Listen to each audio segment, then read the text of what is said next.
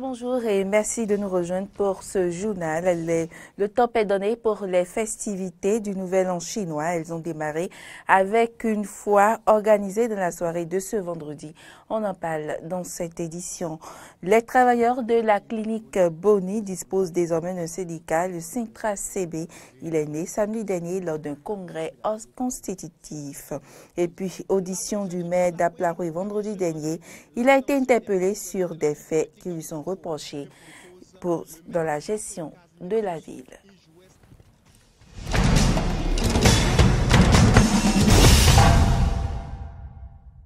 Bienvenue dans ce journal. Dans le cadre des activités prévues pour le festival du Nouvel An chinois, la foire du Nouvel An chinois a été organisée dans la soirée de ce vendredi 2 mars au Centre culturel chinois. Au menu des stands d'exposition, on a noté des mets chinois, des ateliers de peinture, divers jeux, des animations culturelles. Cette cérémonie a connu la participation de la chargée d'affaires de l'ambassade de Chine au Bénin et du secrétaire général du ministère du Tourisme et de la Culture. Ce soir, le Centre culturel chinois cumule la fête des lanternes et la foire du Nouvel An. En mandarin, la foire du Nouvel An est Miao Hui, littéralement rassemblement aux environs du temple. Traditionnellement, pendant les vacances du Nouvel An, les Chinois se rendent au temple et offrent des sacrifices aux dieux. À cette occasion, des divertissements et des marchés sont organisés à l'extérieur du temple. Vous voyez, dans la tradition chinoise, les activités religieuses et commerciales sont parfaitement combinées.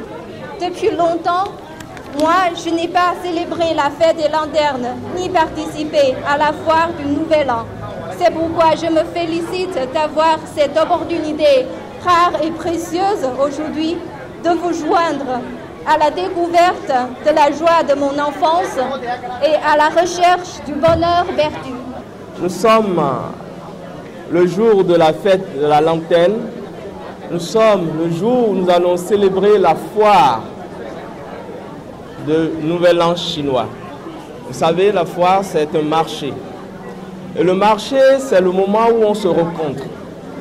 C'est le lieu où tout le monde se rencontre où on se donne du temps pour se parler, du temps pour se connaître, du temps pour échanger.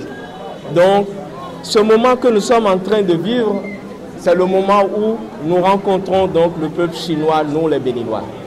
C'est le moment où nous nous donnons, nous Béninois, à rester un tout petit peu de temps pour discuter avec la culture chinoise, pour échanger avec la, la culture chinoise, pour que ce métissage qui a commencé depuis un, long moment où la coopération entre la Chine et le Bénin s'est mise en place, ça puisse se développer. Je le disais tantôt, euh, enfin, il y a quelques jours, je le disais au moment où on célébrait donc ce nouvel an, que l'an, l'année nouvelle en Chine, c'est l'année du chien. C'est l'année de cet animal qui est fidèle à l'homme. C'est donc le moment pour nous donc d'échanger, de travailler à ce qu'il y ait une fidélité qui va amener un métissage culturel pour que le développement de nos deux. Du syndicalisme dans le secteur privé au Bénin, ce n'est pas toujours évident compte tenu de la rareté, de la précarité de l'emploi, la peur de perdre l'existant, la superpuissance des employeurs. Mais les travailleurs de la clinique Boni ont donné l'exemple ce samedi 3 mars 2018 à la Bourse du Travail de Cotonou. Le Sintra CB entendu syndicat des travailleurs de la clinique Boni. Le syndicat est affilié à la COSI Bénin rendu, eh bien, compte bien défendre ce syndicat, compte bien défendre les intérêts de tous les syndiqués. C'est un reportage de Roland Tolinkes.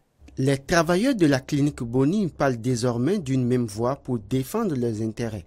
Réunis au sein du syndicat des travailleurs de la clinique Boni, Centra CB, ils ont organisé leur congrès constitutif ce samedi 3 mars à la Bourse du Travail. Nous avons décidé de nous réunir et de réfléchir sur notre structure, la clinique Boni et sur nous-mêmes.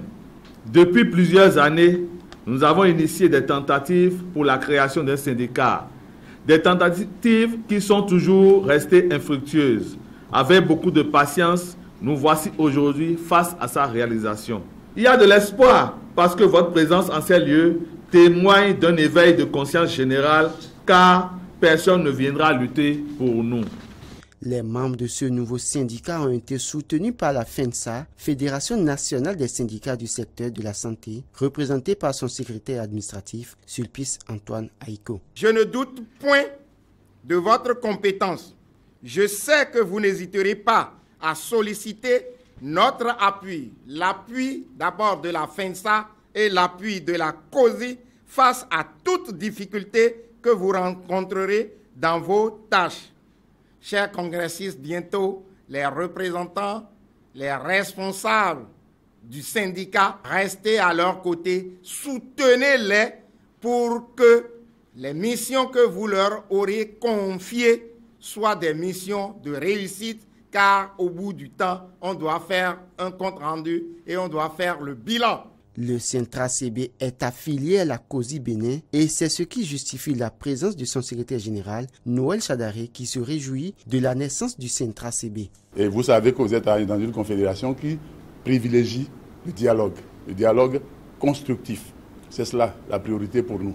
C'est quand on sent qu'en face on n'a pas le répondant que nous nous mettons, n'est-ce pas, nous nous braquons. Sinon, eh bien, c'est le dialogue constructif qui est notre priorité. Et la COSI, c'est votre maison.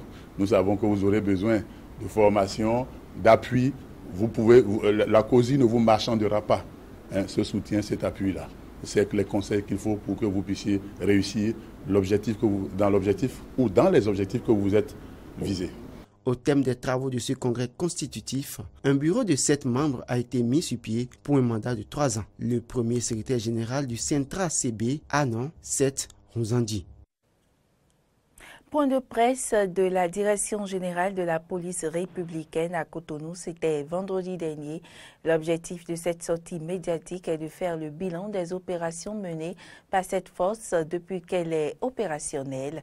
Selon le porte-parole de la police républicaine, 14 braquages ont été déjoués. Le dernier en date est celui qui s'est déroulé dans la nuit du 1er au 2 mars 2018 dans la commune d'Abomey-Calavi. Le DGPR Nazer Nokbet a tenu à mettre un accent sur ce forfait parce qu'il impliquait trois fonctionnaires de la police républicaine. Suivons ces explications au micro de Laurent Toninquez et Fréjus Fiossi. La police républicaine a été alertée à travers le numéro vert 166 du ministère de l'Intérieur qu'un braquage se perpétrait dans la zone de Calavi, dans une société sans désemparer, une équipe a été dépêchée sur les lieux. Aussitôt arrivée, l'équipe a été accueillie par des coups de feu. La riposte ne s'était pas fait attendre. Et le bilan de cette intervention, c'est qu'il y a trois personnes, trois individus qui ont été neutralisés, deux appréhendés et deux armes saisies. Aussitôt, l'identification des personnes a démarré et malheureusement, on s'est rendu compte que sur les cinq personnes impliquées dans ce braquage, trois sont des fonctionnaires de la police républicaine et deux sont des Nigériens. Et nous avons aussitôt tenu séance pour dire, au lieu de laisser la rumeur le, dessus, il faut qu'on s'affirme. Et on vous a appelé pour dire que le commandement actuel de la police républicaine ne saurait tolérer ces genres de comportements. Tous les individus indélicats seront estipés. Nous ferons l'effort pour assainir la corporation. J'invite donc les paisibles populations à continuer par faire confiance à l'équipe dirigeante actuelle en dénonçant systématiquement sur le numéro 166 ou par tout autre moyen tout comportement déviant qui serait constaté de la part des personnels de la police républicaine. Aucune place ne sera faite aux individus indélicats, aux corrompus et aux criminels. La grève de 116 heures en cours dans les universités nationales du Bénin a pris une nouvelle tournure de la journée de ce 2 mars 2018 à l'université d'Abomey-Calavi. Gaz lacrymogène, matraque, véhicules anti-émeute d'un côté, des pierres et des pneus brûlés d'un autre. Étudiants et policiers se sont simplement affrontés.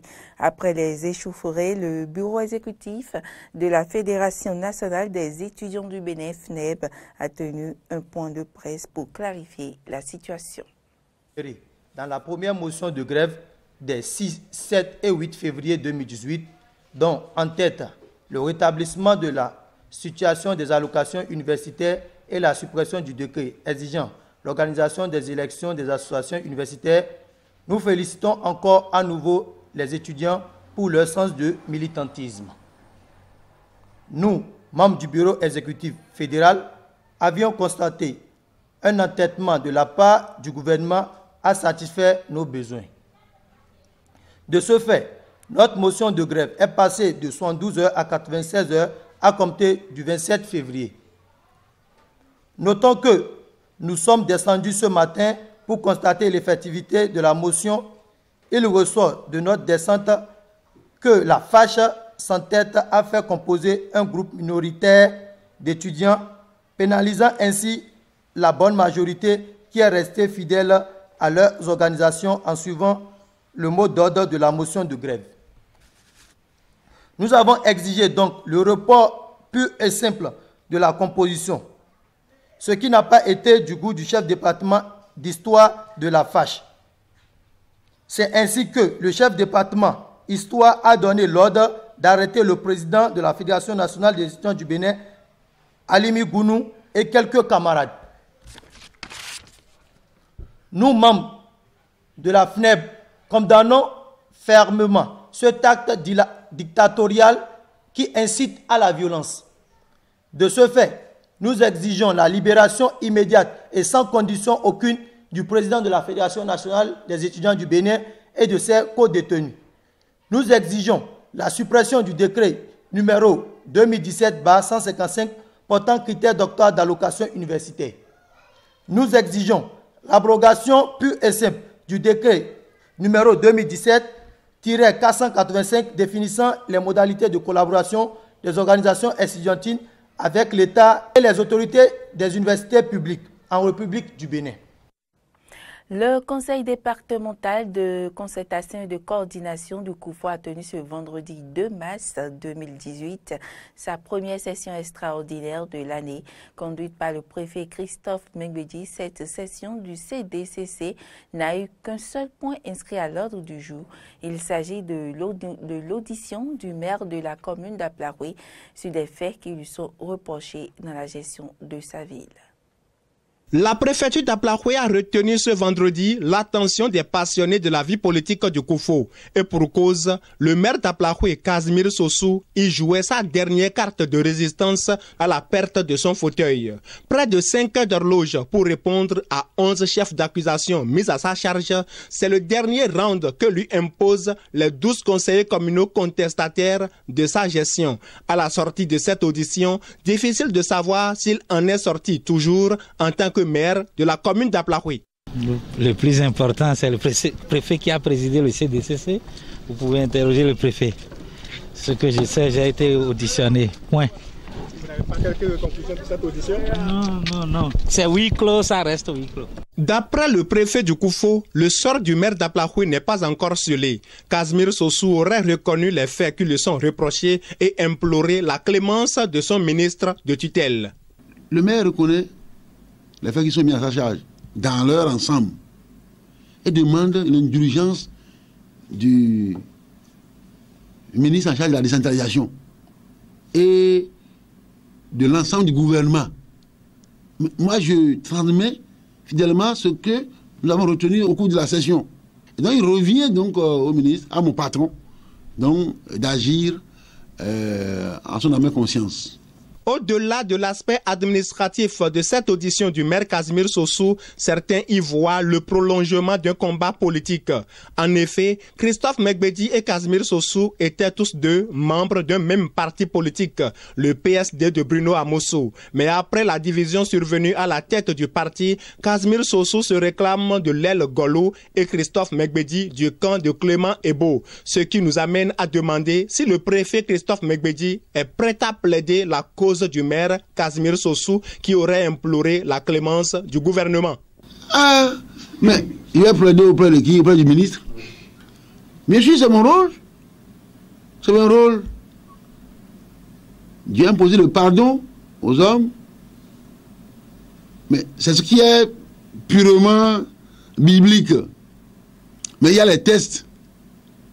Il y a les tests qui sont légiférés qui n'ont souvent rien à voir avec euh, ce qui est prévu dans la Bible. Mais il revient à, l'autorité supérieure d'apprécier. Les regards sont donc tournés vers le ministre de l'Intérieur, de qui dépend désormais la suite de cette affaire. Et ce sera tout pour cette édition. Merci pour l'attention. À demain.